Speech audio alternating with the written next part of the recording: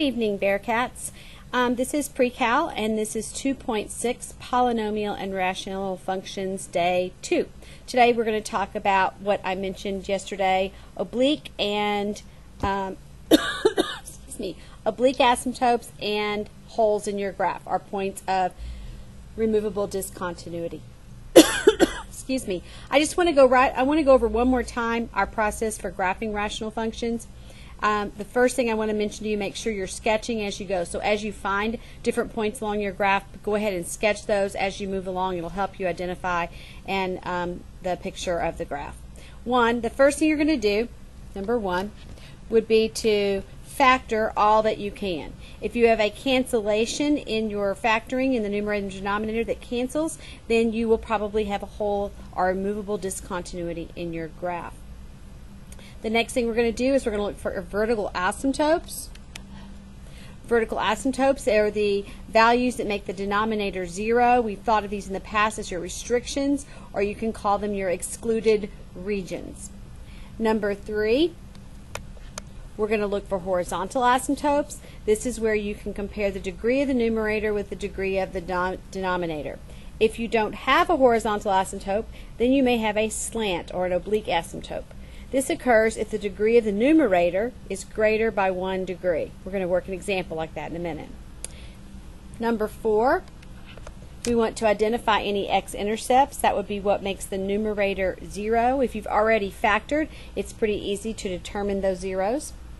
Um, and that makes sense because it is what makes the uh, x-intercept is the values that make uh, y 0 or your function 0. Well, in a fraction, if the numerator is 0, then the entire uh, fraction is 0.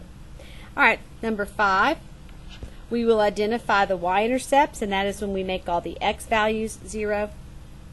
Each time graphing these pieces of information that you find. And number 6, we're going to find any additional points that we think we might need. We could use a t-table to do that. And finally, we're going to graph. All right, let's look at the following examples.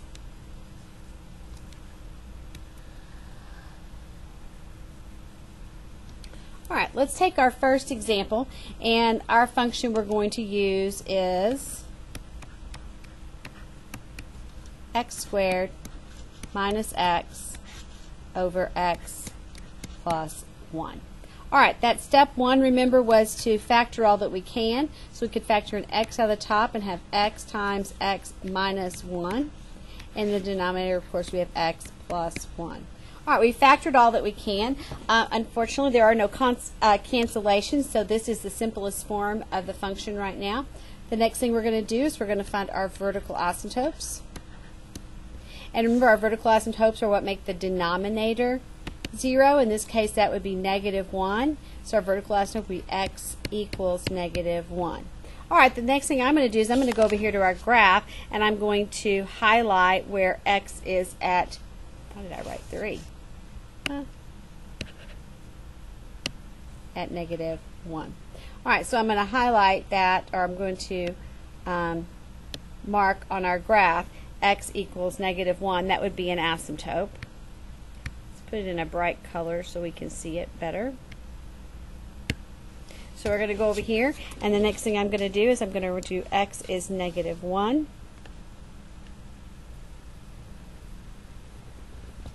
So that would be our asymptote. So my asymptote's in orange.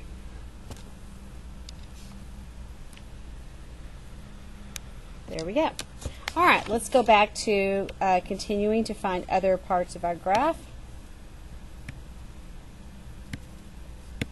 All right, the next thing we're going to do is number step number three, I believe, is to find the horizontal asymptote.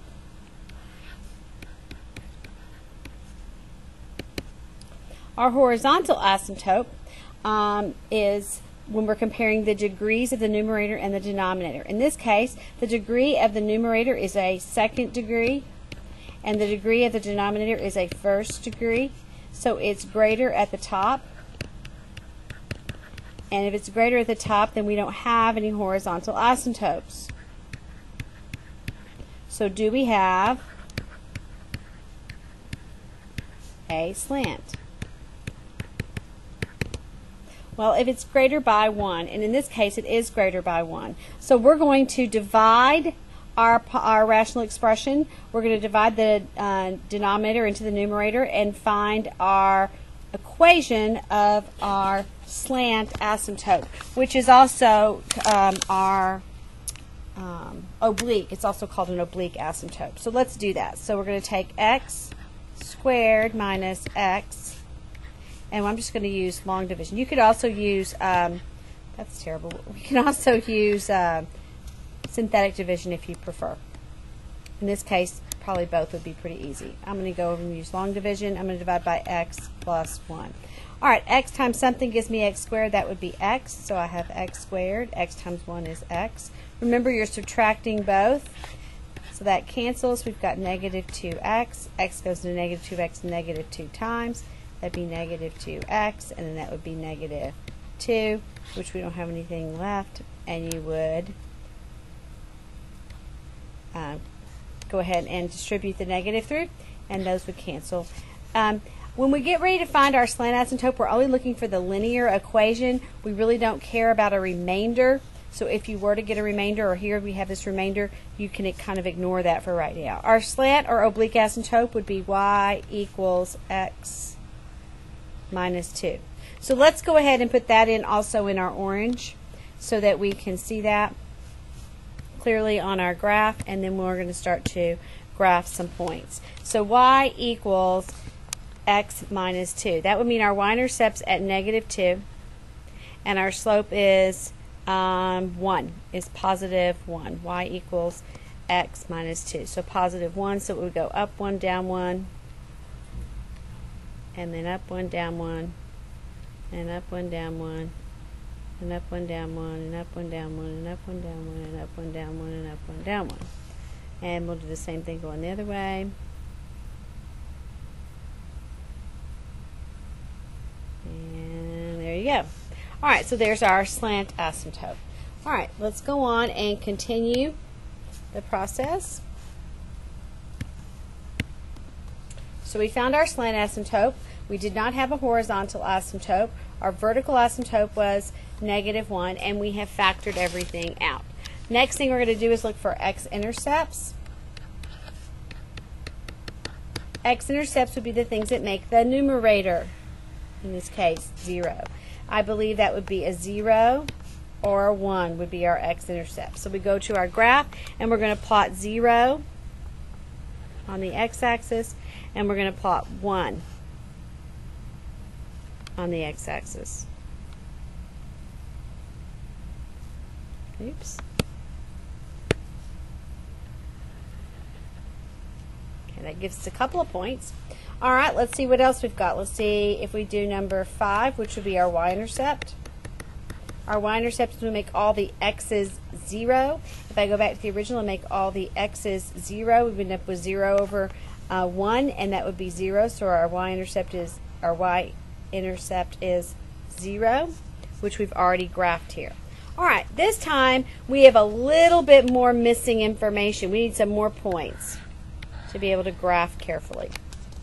You always want to pick points on the left and right of your vertical asymptote. We know what's happening to the right.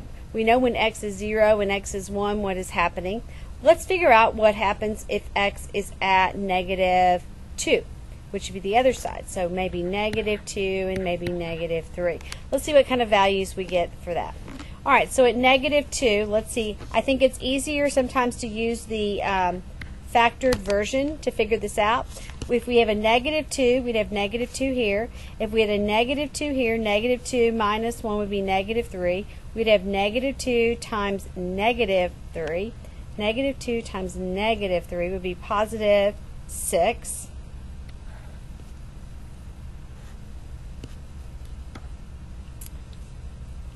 And then uh, at the bottom we would have negative 2 and 1, which would be negative 1 which finally gives us negative 6. And for 3, let's do the same thing. So negative 3 would be have negative 3. Negative 3 minus 1 is negative 4. So negative 3 times negative 4 is positive 12.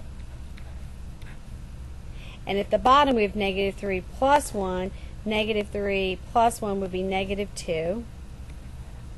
And 12 divided by negative 2 would be negative 6 also.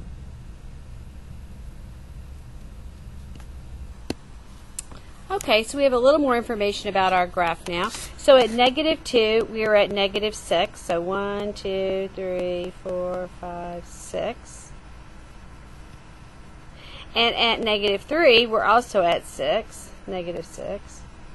So I'm going to assume that we're going to come up in that corner and come back down. If we wanted to pick a point in between, we could, um, but that would uh, we're not going to do that today. So we know we're going to approach the asymptote, so we're in these two little corners.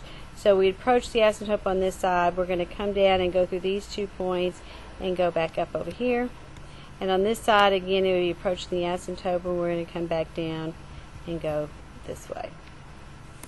All right, there's a, a problem with a slant asymptote. Next, let's look at one that might have a removable discontinuity or a hole in the graph.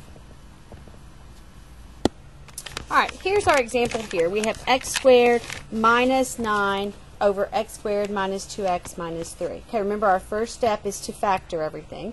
So at the top, it looks like we have a difference of squares. We'd have x plus 3 and x minus 3. In the bottom, it looks like we have a trinomial that we can factor, x and x. Multiply to negative 3, add to 2, negative 2. So I think it's a negative 3 and a positive 1. All right, we have fully factored everything. Notice something that I just see right now. Notice something that I see. That you have a x minus 3 and an x minus 3. Those are going to cancel. So our reduced equation is x plus 3 over x plus 1. And this is the equation we would use to graph. However, we need to make note of this cancellation. This cancellation means we have a hole in the graph where x is 3. Okay, where x is 3. So we'll have a hole in the graph where x is 3. So that's kind of important in a minute, um, and we'll make sure we go back and graph that. All right, our next step is to do our vertical asymptote. Remember the vertical asymptote is what makes the denominator 0. In this case, that would be negative 1. So it would be x equals negative 1. All right, I'm going to go ahead and go over here and graph that. So when our x value is at negative 1, remember a while ago we put that at orange. Let's do that again. So our, our asymptote, our vertical asymptote is at negative 1.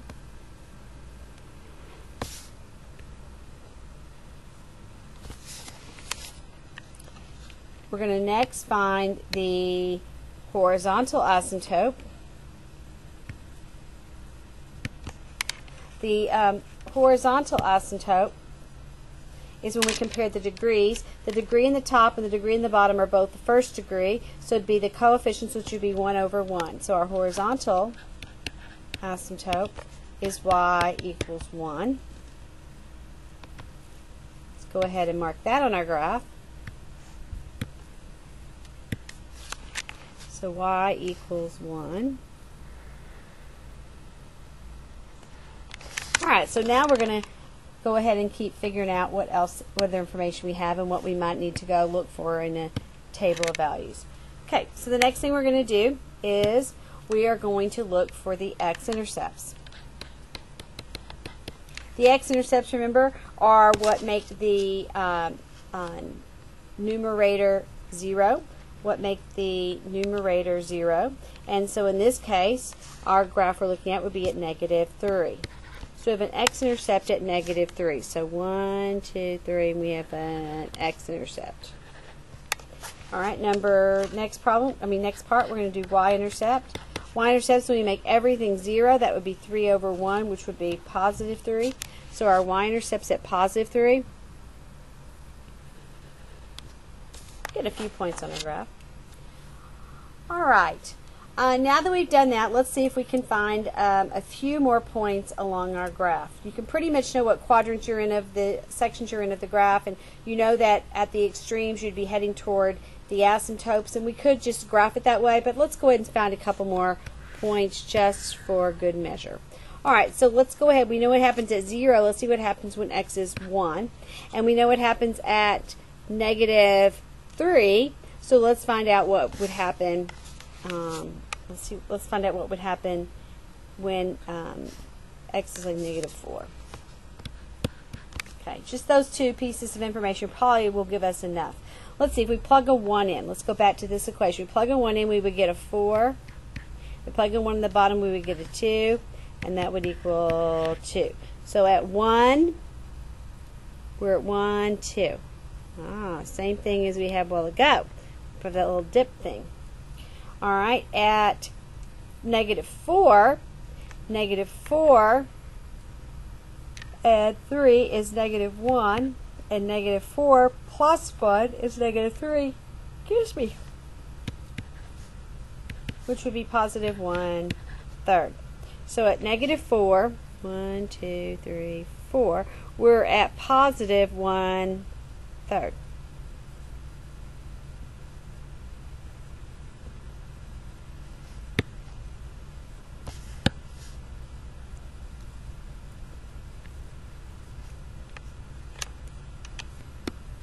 All right, I think we're going to get one more point on each side. So we had over here, we had 0, 1. Let's just try what happens at 2. 2 plus 3 would be 5. And 2 plus 1 would be 3. And that'd be 1 and a third, just for good measure. So at 2, we're at 1 and a third.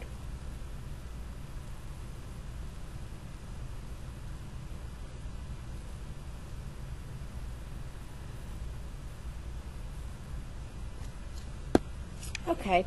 Um, somehow I missed this over here a while ago when we were at 0. If x was at 0, we would have 3 over 1 or 3, so we would have a point right there. I think I put the wrong point in there. All right, and now let's go ahead and check out what happens um, at negative 5. Negative 5 and 3 is a negative 2. And negative 5 and 1 would be a negative 4 which is positive 1 half. So at 5, negative 5, sorry. 1, 2, 3, 4, 5, we're at 1 half. All right, I think that's enough. Let's go ahead and draw our graph in toward the asymptotes. Remember at the extremes of our graph.